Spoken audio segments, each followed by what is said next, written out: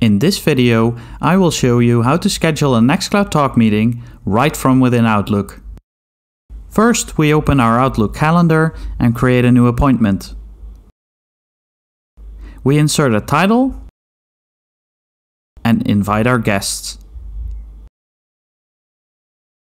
Then we click on Nextcloud Talk and a snippet with instructions on how to join the online meeting is inserted.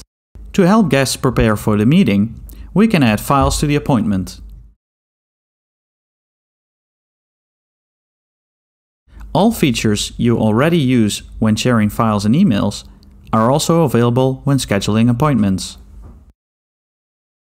As you probably expected, when we click Share and the upload is done, a snippet with the download link is inserted.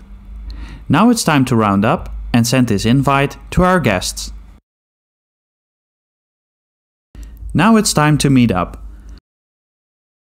Our guests can click the link in their invite to attend our Nextcloud Talk meeting. It's that easy.